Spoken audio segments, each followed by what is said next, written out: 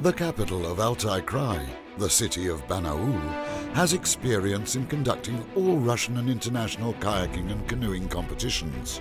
On September the 21st and the 22nd, 2018, the Cup of Champions, international kayaking and canoeing competitions were held here.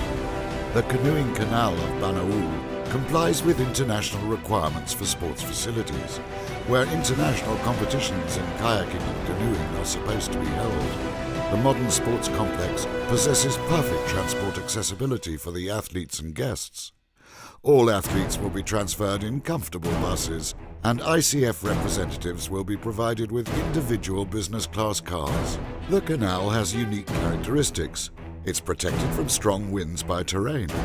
When the weather is windy, a fair wind prevails. The hosting city of the World Cup stage is Barnaul, the capital of Altai Krai, situated on the banks of the Great Siberian Ob River.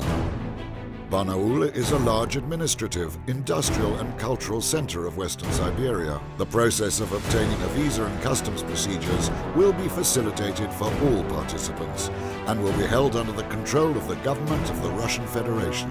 All participating teams will be comfortably accommodated in hotels of various categories in accordance with their wishes and financial capabilities. The cost of living in hotels, depending on the level of comfort, varies from 30 to 90 euro for a person per day.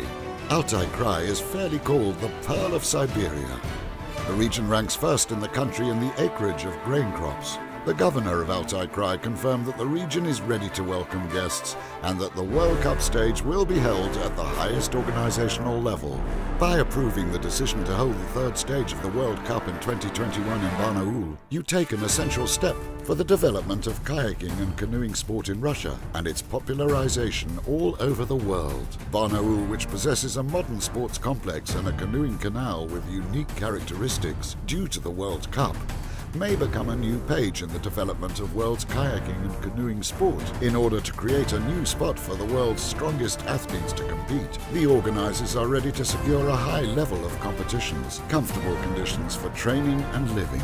Also, the spectators will be impressed by the rich cultural and entertainment programs during the World Cup stage in Barnaul in 2021.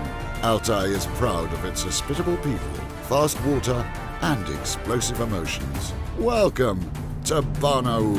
It's going to be hot.